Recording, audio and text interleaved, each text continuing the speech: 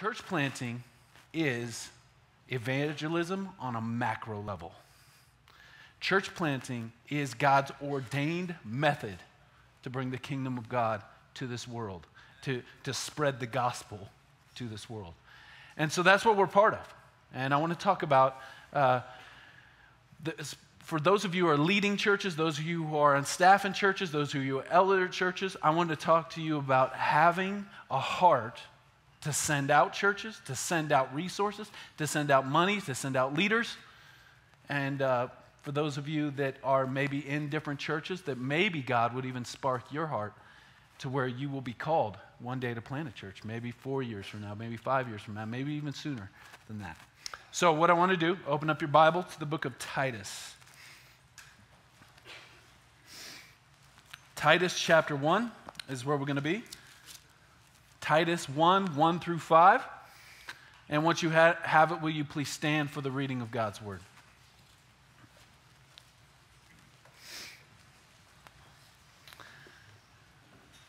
At Living Stones, after we read the word, we all say, Thanks be to God. So if you would all, uh, we join in many traditions in doing that. So after I read this, uh, if you would just say with me, Thanks be to God.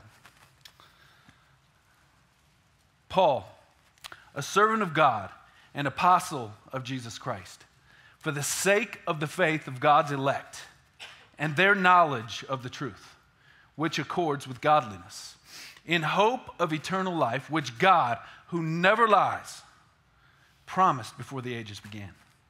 And at the proper time manifested in his word through the preaching with which I have been entrusted by the command of God our Savior to Titus, my true child in a common faith, grace and peace from God the Father and Christ Jesus our Savior. This is why I left you in Crete so that you might put what remained in order and appoint elders in every town as I directed you. This is the word of the Lord. Let's pray. Father, as we look into this text, as we look into our call, uh, may you give us eyes to see what you're doing in the world. Father, uh, we ask that right now our hearts would be aligned with your heart and that we would hear what you want us to hear so that we could see what you want us to see. Specifically, Lord, as we talk about verse 2 and the covenant of redemption, we know that we're trembling on holy, we're walking on holy ground, and that we should tremble uh, when we walk on that holy ground because we're talking about the conversation you have with yourself before the foundation of the world. And so, God, give us humility and give us awe as we do that. And God, we ask uh, that you would stir our hearts that there might be revival across the West Coast, across the Western United States. So we pray all this for your glory, and we pray it in the name of the Father, and of the Son, and of the Holy Spirit. And all God's people said, Amen. Amen. Please have a seat. Okay here's my point today church planting is reaping in history what God planted in eternity. Church planting is reaping in history what God planted in eternity. So we read this text, and I want, I want to jump around at different parts of this text uh, to kind of explain what I mean by that. Uh, but this is a great church planting text specifically because of verse 5. Look at verse 5. Paul tells Titus, This is why I left you in Crete, that you might appoint elders in every town and every city as I directed you, that you might put what remained in order. So, in other words, Paul was part of this process of planting this church on Crete, leaving Titus as the church planter to lead that church. And Titus's job was not done when he planted his church. Titus was also called to appoint elders in every city, every town on the island of Crete, as Paul had directed him. And so uh, the call to Titus is not is plant your church, lead your church, appoint elders in your church, But when you appoint elders, what you're doing is you're appointing people who are going to lead other people. You're appointing leaders who are going to lead people to Christ, who are going to start churches. And so go and appoint elders in every town as I directed you, is the call that he gives to him. And so that's our call as well. As we're following in the footsteps of the apostles, as we're in obedience to the Great Commission. If you think about the Great Commission, the Great Commission is go into all the world and make disciples, right? Of all people, baptizing them in the name of the Father and the Son and the Holy Spirit, teaching them uh, what I've commanded you. And here's the crazy thing about that when the apostles heard the Great Commission, they instinctually started doing two things evangelism and planting new churches. Evangelism and planting new churches. So they started going out to people that didn't currently have the gospel and preaching the gospel to them. By the way, church planting is not about gathering people from other churches. Church planting is about evangelistic mission. Okay, so uh, I, I, that's important because, especially in our tribe, theologically oriented guys, they want to plant a church because they're like, well, there's no gospel churches in my city. You ever heard that? And you know what? That might be true in some places. There might not be churches that preach through the Bible, there might not be churches that teach the gospel, but there likely is. But that's not the reason to plant a church. The reason to plant a church is that so people who don't know Christ can know Christ, so that God can gather his elect. That's why we plant churches.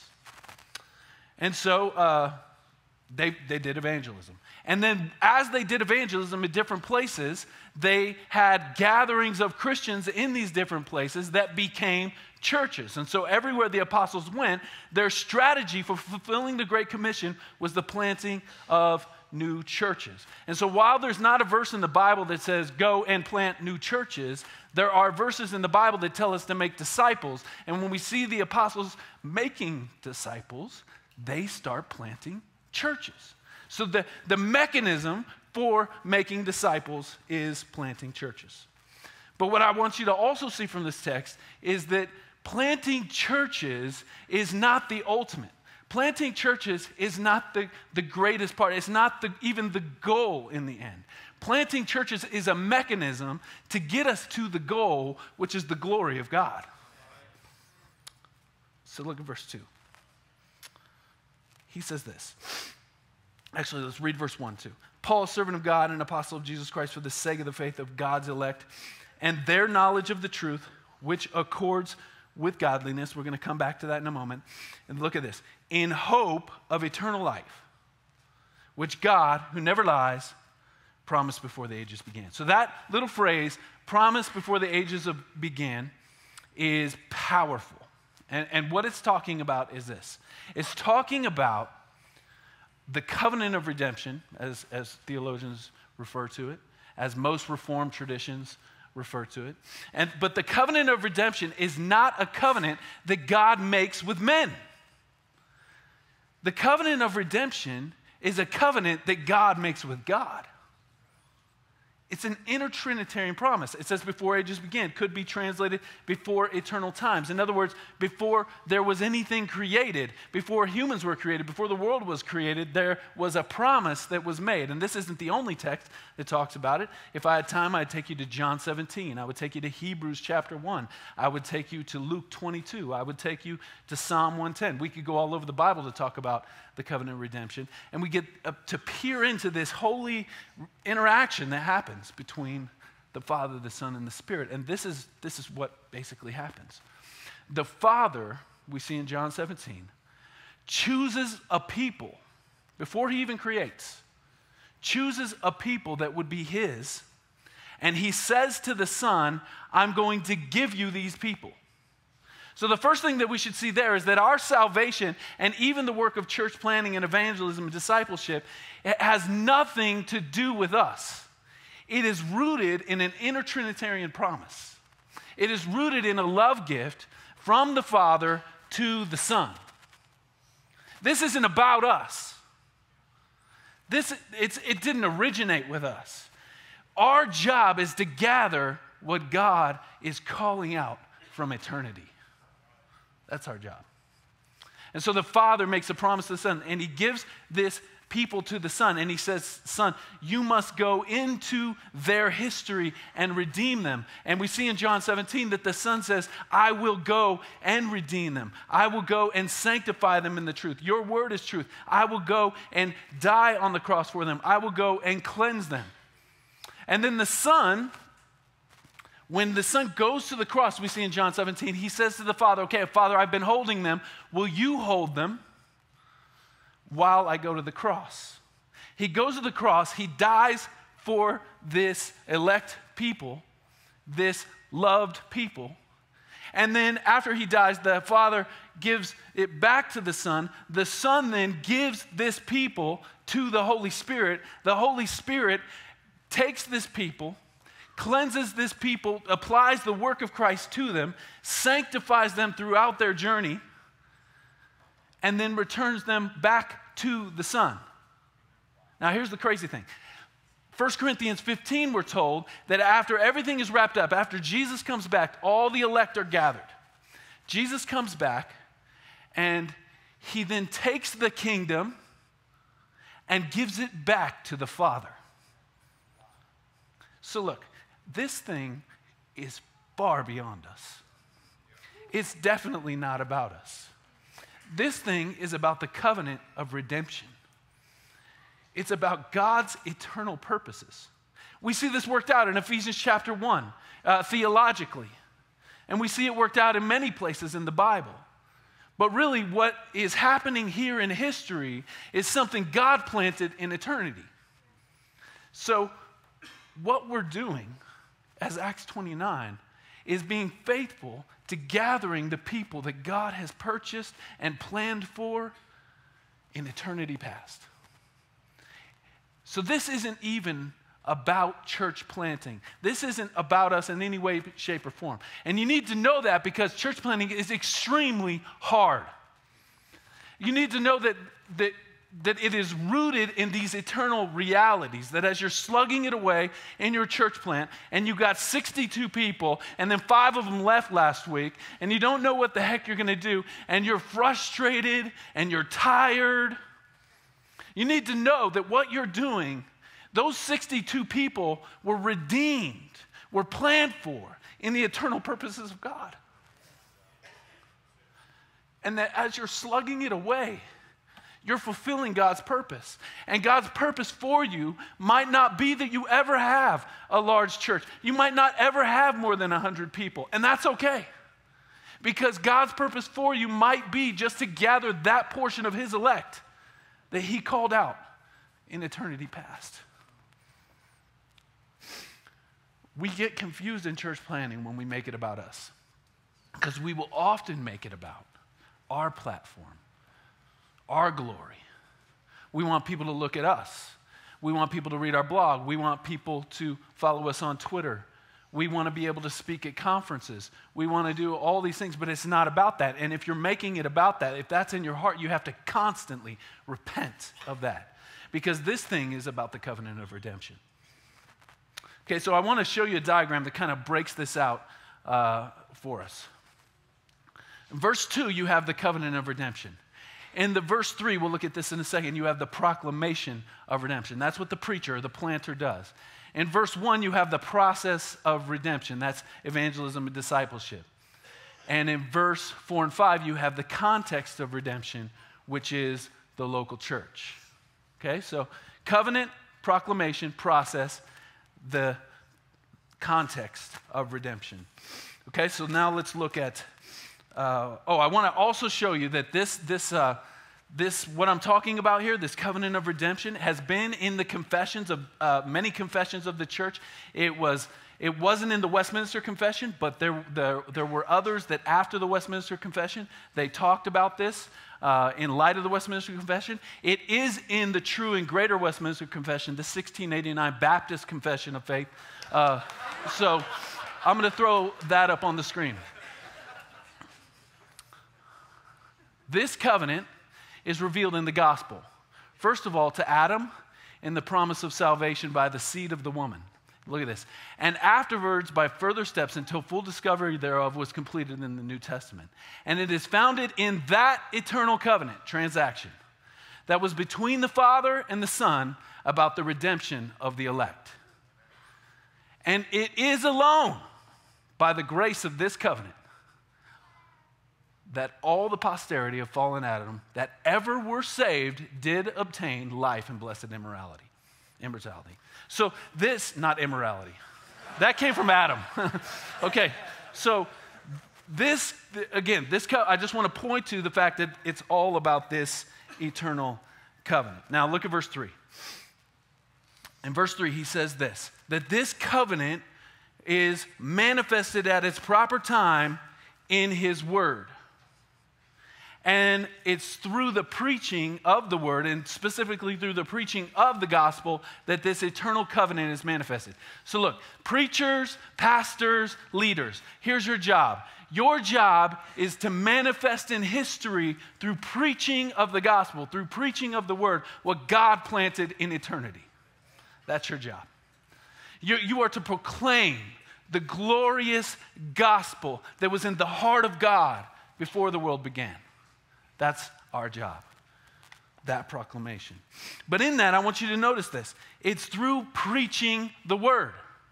And one of the reasons why I am passionate about planting churches with Acts 29, well, I, and there's a sense where, of course, all church planting at, at, at, some level is great, but I am specifically passionate about planting Acts 29 churches, is because I want there to be, and I hope you want there to be, and we should want, according to this verse, churches that preach the Bible. Uh, uh, we have lots of churches that preach a verse from the Bible and then they just talk about stuff. We don't need any more of that. Okay? We need churches that preach the Word of God and the gospel of God, unashamed. The, the Roman Empire, think about this, was changed through the faithful preaching of the gospel and the faithful preaching of the Word. And we, you had these gritty people that were willing to risk everything for this gospel, everything for this word. And the whole Roman Empire was completely changed by that. And the gospel spread not only through the Roman Empire, but through Europe and came over to the States. And it's in all parts of the world. It's all, all in, now it's in South America and China. It, it is in Africa. It's spreading like wildfire. But the kind of churches that actually have historical sustainability, that actually make a difference long term, are churches that preach God's word and the gospel of God from God's word. And so, what we need to do is not just plant churches, we need to plant Bible preaching, gospel centered churches. That's what we're trying to do. So, we need, I just want to get this down, you might jot this down for your own thinking. We need gospel centered, culturally engaged, Bible preaching, discipleship oriented, evangelistic churches. That's what we need. And that's what we're trying to do in Acts 29 West. That's what we're trying to do in Acts 29 Global, is to plant those kinds of churches. Okay? Okay, so I want you to see word, preaching, and that this eternal covenant of redemption is manifested through the word. Now look at verse 1. He says this Paul, a servant of God. Interesting there that when Paul introduces himself, and he does this in other places too, that he doesn't introduce himself always as, as the apostle. Many times he introduces himself as a servant. If you're going to be participating in church planting, you have to be a servant. You, you cannot be the kind of person that wants to build something for your own glory. You have to be somebody who is willing to serve, willing to give, willing to push things out, push things away from yourself, and give and give and give. That's how we're going to see uh, the movement spread. That's how the movement is always spread. It's through servants. And you have Paul who's saying, I'm a servant. And if you look at his life, that's what he did. He went around and served this covenant of redemption. He went around and served this mission, the Great Commission, by serving church planters, equipping church planters, going to the next city, getting beaten in some cities. I, I want to be the kind of uh, Calvinist that Paul was. Paul was a Calvinist, by the way The kind of this is the kind of Calvinist he was. He would go into the city, preach the gospel. They would throw rocks at him until they thought he was dead. He'd be laying there dead. They'd drag him outside the city, leave him for dead. He would awaken hours later and go back into that city and keep preaching the gospel.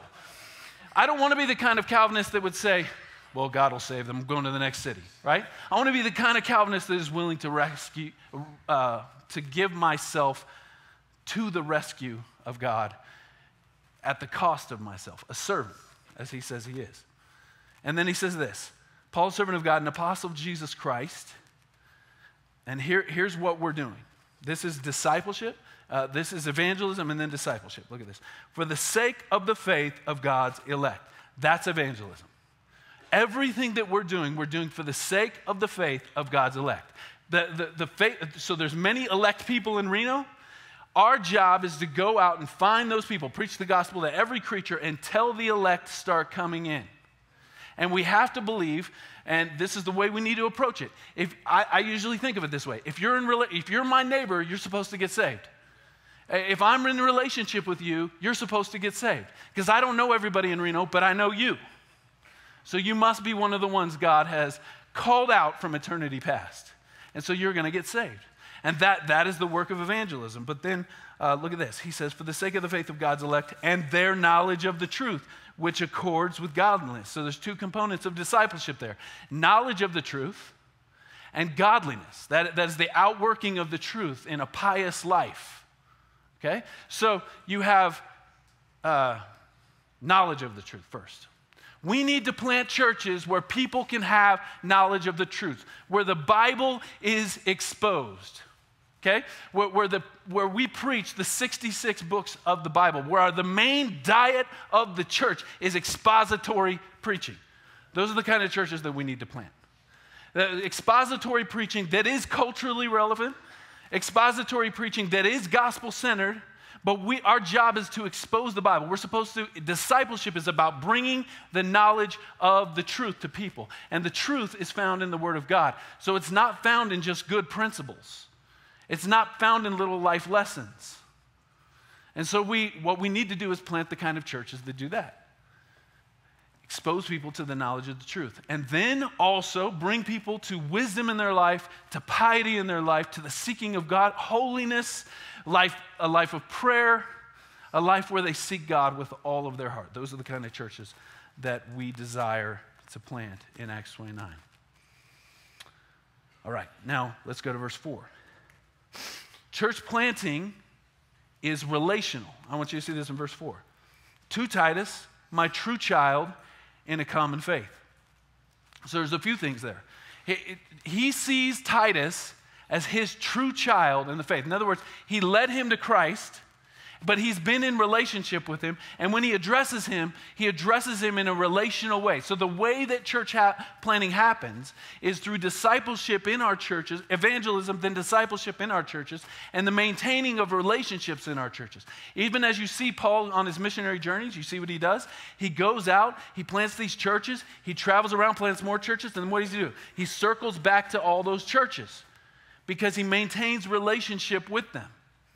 And that's also the way we're going to know a man's character. That's also the way we're going to be equipping them is through relationship. So we're not just uh, planting churches like a machine. We're not ju- like some kind of uh, machinery. We're just you know pushing them out. But we're planting churches in ways where we know each other, we love each other, we pray for each other, and we're rooting for each other. Even if we're in the same city, we're rooting for each other.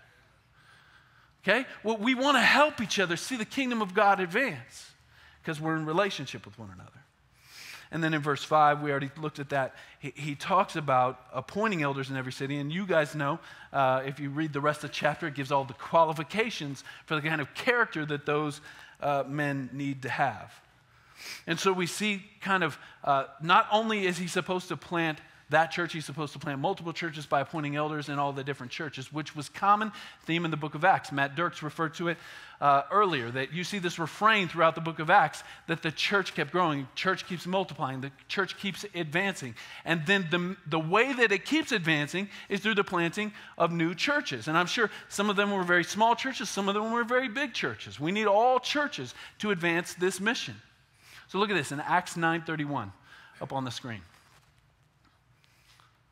So the church throughout all Judea and Galilee and Samaria had peace and was being built up. So that's the discipleship element, it's being built up. And it's walking in the fear of the Lord. So there is this holy joy and fear in God, this awe and reverence. By the way, the kind of churches we want to plant are churches that have awe and reverence for the holy God. Okay? The fear of the Lord and look at this, and in the comfort of the Holy Spirit. So, Reformed guys are known for their fear of God, but we're not known for the comfort of the Holy Spirit. Let it be that in Acts 29, we're known for awe and reverence, but we're also known for comfort and humility as God's people. That we're advancing His kingdom humbly and prayerfully and by the power of the Holy Spirit, led by the Holy Spirit, dependent upon the Holy Spirit. And look what happens. When they did that, it multiplied. Okay? It multiplied. Now, you probably know these next two quotes, but I want to review them in light of uh, talking about multiplication. Uh, Peter Wagner. This is a great quote. He's a missiologist, and he says this Planting new churches is the most effective evangelistic methodology known under heaven.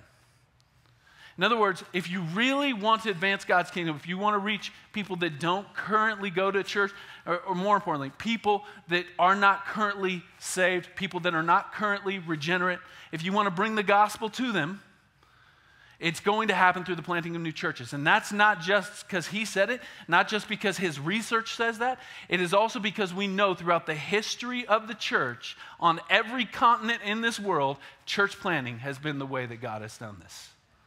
Okay? And then, of course, Yoda, Tim Keller, says this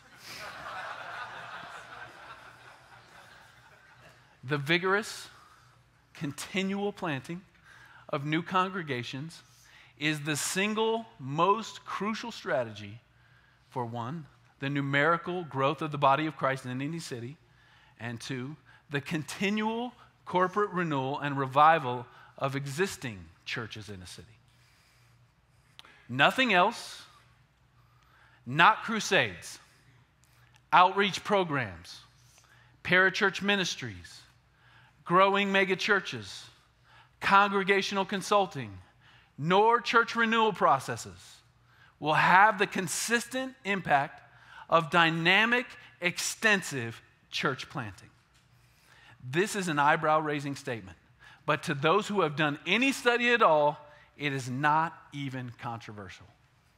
Look, we must be committed to church planting. There, all these other ministries that are out there are great, and they can be effective, and they can come alongside the church. But look, our primary emphasis needs to be the planting of new churches not only because it is practical, pragmatic, most effective, but because theologically that is how the covenant of redemption has always been fulfilled. The gathering of God's people has always been fulfilled. This is how the kingdom has always advanced. The, the disciples, the, the apostles instinctively obeyed the Great Commission by the planting of new churches, not by the starting of programs, not by you know, holding a big concert and inviting the city to it. It's by starting new churches. So that's why we're passionate about doing this in Acts 29. So, in light of that, if you want to be committed to the starting of new churches, I want to talk practically about what you will need to do as a lead pastor, as a staff member, as a prospective church planter, as somebody, maybe you're just a member of a church. Uh, how can you contribute? How can you be part of it?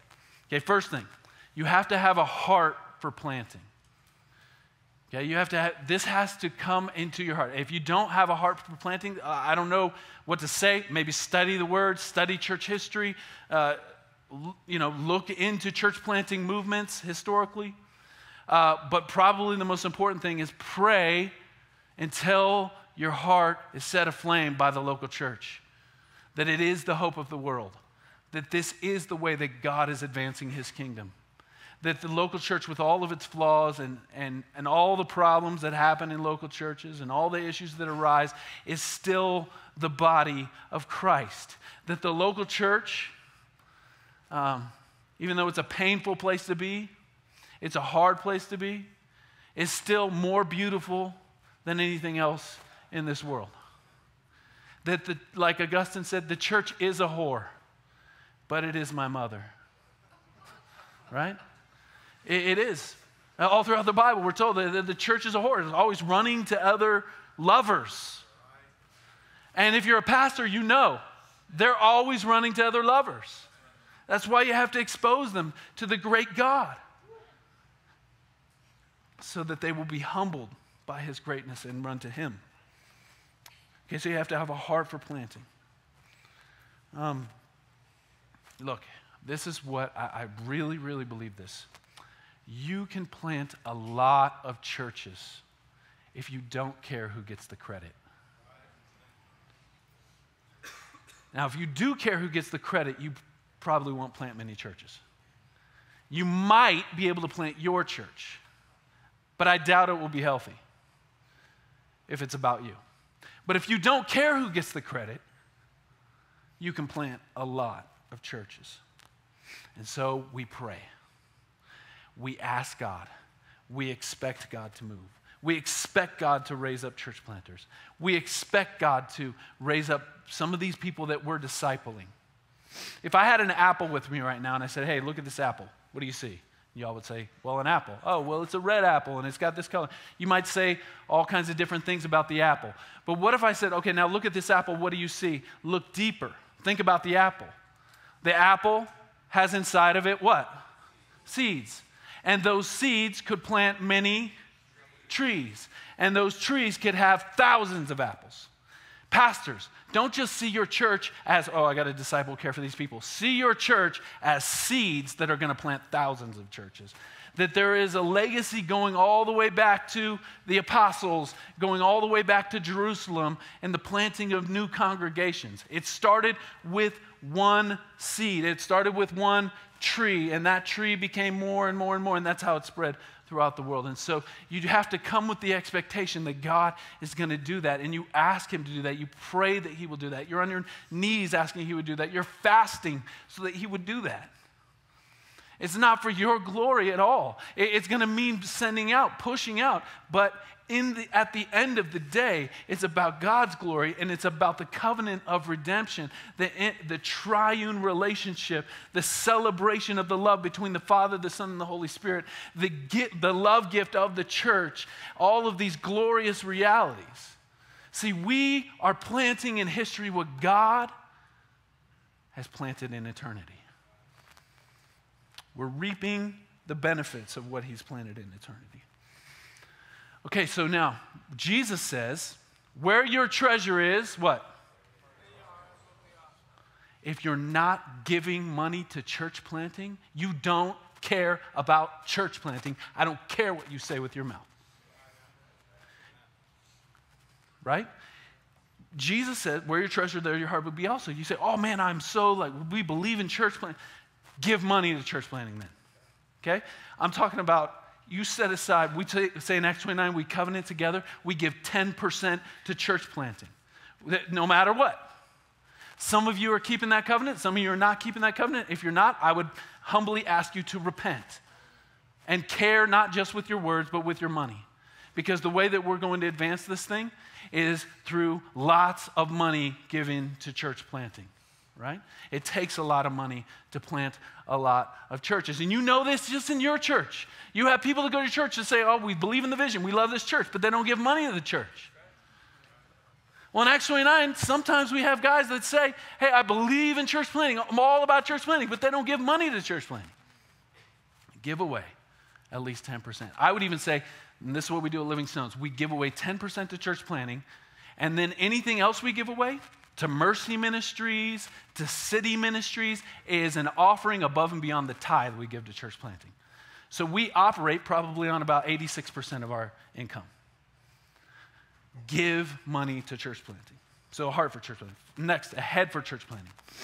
Um, you are giving a vision. You were talking to leaders about church planting. You're constantly dropping it in your sermons. You're do- dropping it into leadership meetings. You're, you're thinking ahead. You're preparing for church planting. You're sending uh, the, your best guys out. But before you send them out, you're training them up. You're encouraging them to go ahead and go out. Um, so let me give you uh, a couple of things here. Um, one, if you want to put some feet to this, if you want to put some hands to this, invest in a church planting network.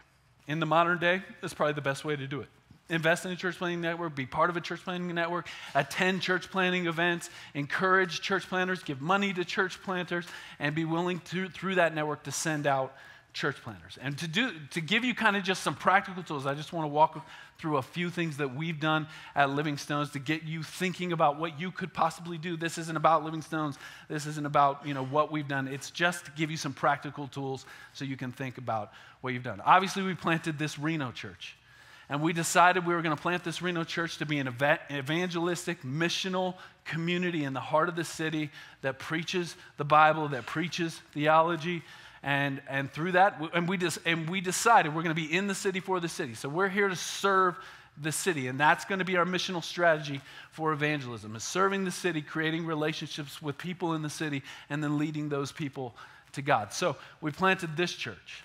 But at some point, we had to make a decision uh, because the church grew. Are we going to just keep growing as, as a church, or are we going to send out? So, in the early days, we started with a multi site strategy. And over time, we have taken that multi site strategy, and instead of being uh, a multi site strategy that is kind of like with one thing at the top going down to the locations, we decided that wasn't us. I'm not against, if you're doing that, uh, praise be to God. But that's not what we wanted to do. We decided what we wanted to do is we wanted to create a network of churches. So our Living Stones churches uh, are churches that have their own leader, their own preacher, their own elders.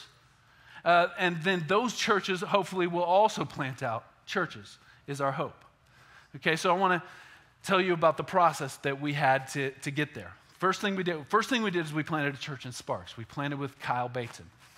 And throw that up on the screen he planted the church in Sparks. And the way that we did that is we had some community groups. People were driving 20, 25 minutes to come to our church. Uh, Kyle had started a community group, and then we had another community group, and there started to be a multiplication of community groups. I think there was three or four community groups. And at that time, I met with Kyle. He had no interest in being a pastor, but he was planting groups. And so he's multiplying. He's raising up disciples, sending them out, planting these different groups. So I met with Kyle, and I'm like, dude, uh, You're supposed to be a pastor. He's like, No, no. And he told me his whole plan of what he was going to do. And I said, No, dude, I'm telling you, you're supposed to be a pastor. You're, you're multiplying already. And so he went and prayed about it. He talked to his wife about it. She was like, You were supposed to be a pastor. And uh, long and short of it is, he becomes a pastor. He's a fantastic preacher, an amazing leader. Uh, and he is, uh, his church is thriving, is growing. But I want you to see how we did it. We started with community groups so that we had a multiplying DNA and we had a missional DNA and we had a community DNA. And those community groups formed into a church eventually. Another one that we had is in Elko, Nevada, four hours from here. They, uh, Nathan went here for a little while to the Reno church. He called me. He said, Hey, I, I need, uh, I need some help. We're starting a church, and uh, and you know people are gathering and at that time what they were doing uh, we were still in the multi-site strategy but he didn't even know about that. What they were doing is they were taking the sermons from here and they were getting together and listening to them and some of his friends were getting saved. So eventually they started using our videos and then over time it transitioned to where we started to train nathan so that he could preach and lead that church. And that church there in elko glory be to god is over 500 people. It is the largest church in the history of the city of elko Okay? And, but the investment on our part was this. We, we said, we will equip Nathan, we will resource Nathan, we will help Nathan, we will take a financial loss for a season so that Nathan can get this thing rolling. Okay? It was all about giving and sending. Uh, then we had Fred Kingman, who started the church in Carson City. He, he was working down in Carson City, 35 minutes from here, and um, he, he was, since he was working down there, he's like, I'm just going to move down there and I'm going to start a group. And we're like, oh, that's awesome, Fred, do it. Because we had some people coming from Carson City. Well, he started that group and he said, I think I want to start a Living Stones church here. We we're like, okay, we'll see. And he, and he started another group. They started a third group. By the time he had four groups, we were like, all right, man, all right, you're doing it. And we uh, trained him, resourced him, sent him out. Uh, we, we financially sponsored the whole thing, and we got a church going there in Carson City. And the crazy thing is, now that church in Carson City is hoping to plant another 20, 30 minutes down the road from them uh, with Luke Workow. And so the, he's part of the Carson City Church now. And our hope is maybe in the next couple of years, we'll send Luke Workow out so that he will plant as well another Living Stones church. But we not only just plant Living Stones churches. We go to the next slide. Uh, well, this is another hopeful. We'll have a. This is a Living Stones church we hope to plant in South Reno. I can't tell you the guy's name because he hasn't quit his job yet, but uh, he's going to. He's going to come on staff for two years, do our residency, and then we're going to send him out the third year, hopefully with a few hundred people. All right, let's go to the next one. This is Rick Reeves. Rick Reeves served here on our staff. When I first met Rick, he came and talked to me. He said, I want to plant a church one day. I said, Well, plant a community group then. He planted a community group, and out of that community group, it multiplied into several different community groups. I was like, All right, this guy's good. He can plant a church. So I said, All right, come on our staff and we'll train you. He came on our staff. He served in family ministry for a little while, and he went through our church plant residency, and now he's moved to Bend, Oregon. He started Gospel Community Church up in Bend, Oregon okay? But, and, and right now we're funding him for the last couple of years at a really high rate so that him and his, church, his family can get this thing off the ground. So it takes a lot of sending, it takes a lot of investing in leaders, it takes a lot of funding. Rick also went through things like our preaching school, pastor school, and like I said, church planting residency. We can go to the next slide. This is Bobby Grossi. He was an elder here at the Reno church for a long time. He served faithfully here. He actually, when we were in multi site strategy, he led the Reno church here. He went out of ministry for the last year, and now he will be replanting a church in uh, Goleta, California, near Santa Barbara. And uh, so, praise be to God for that as well. So, and we're going to resource him. He's been trained. We're going to resource him. We're going to help him. We're going to fund him. We're going to give him whatever he needs to do that. All right, I think that was, that was it. The last thing I want to say is this we, there's one more. Oh, yeah, David Jin. Sorry, David. Yeah, so David has been part of our church church planting residency for the last couple of years. He moved here from Seattle to do our church planting residency, and he's finishing it up. He's going to be moving to Seattle pretty soon. He is going to join a local church there. He's already in communication with a local church there. The Seattle guys, please uh, take time to meet David if you don't already know him. He's, he's going to be joining that local church there, be sent out from that local church, and then we will begin uh, uh, supporting him financially. We will be behind him 100%. I, I'm giving you all these examples to show you all the different types of plants there can be, to, to show you, to give you a vision and a heart of what you might be able to do that can go way beyond just your church. And I want to say this just as a last word on all this before I wrap up. We have guys on our current staff right now that I am confident could plant churches. Kyle Wetzler, uh, and several of our pastors. I, I, am confident they could go and plant the, a church. But what they have decided to do, at least for this period of time, is to ha- stay here with me, lead this church so that we can plant many churches. Okay? So there's also some of you, you won't be called to plant a church. Some of you will be called to contribute to a church that is a church planting church so that you can be part of a bigger kingdom okay? And for some of them, there might be more glory for them if they went and planted a church, right? But to be here and to be part of this and to be part of the sending, equipping culture, we're going to see greater dividends for the kingdom. We're going to see more people come in, and we're, all, we're going to be part of what God planted in eternity. So I want to throw this, uh, that diagram back up. Oh, yeah. Check this out. If we all were to plant churches, I'm running out of time, so I'm getting a little flustered. I'm out of time. Okay. Um, if we all plan, so this is all of our churches. If we can go to the next slide. That's, that's our churches in Acts 29 West. Now, what if we, in the next few years, we all planted, let's say, another 50 churches? And then what if we planted another 50 churches? And then if we planted another 50 churches. And each one of these churches was not just a church, but is a Bible preaching, gospel centered, sending church. This is what our, the West Coast could look at like. And that's only Acts 29. There are obviously other great denominations and church networks that are doing great work. But this is what we could do together if we all had this vision to be ascending culture. So I want to end again with the covenant of redemption, and we'll wrap this up. You notice the covenant of redemption, going to the proclamation of redemption, to the process of redemption, to the context of redemption.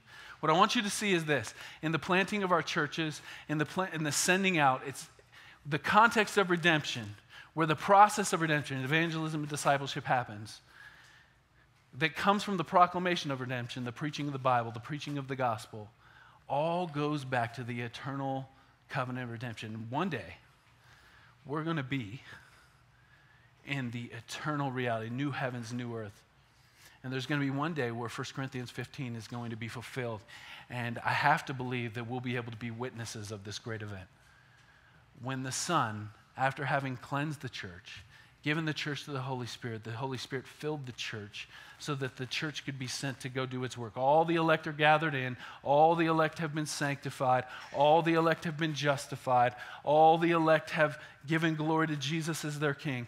They're, and then we're part of this great kingdom. 1 Corinthians 15 tells us that the Son is going to give back to the Father this kingdom.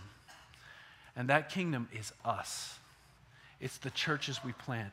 It's the elect that we help bring in. And at the end of the day, God gets all the glory because God does the justifying, God does the saving, God does the regeneration, God did the electing, God's going to do the glorifying. But in some mysterious, crazy way, we get to be part of it by planting new churches. We are reaping in history what God has planted in eternity. Let's pray. Heavenly Father, I pray for the men and women who are here. I pray that they would have a vision for church planting that goes beyond just this world, but it goes, it's rooted back in the eternal covenant of redemption. God, I pray that uh, you would call out church planters at this conference. That you would encourage church, current church planters that as it is extremely hard, that they would look back to the covenant of redemption. I pray that you would encourage lead pastors of churches to be sending churches. God, ignite our hearts and by your grace bring us revival. We pray it in the name of the Father and of the Son and of the Holy Spirit.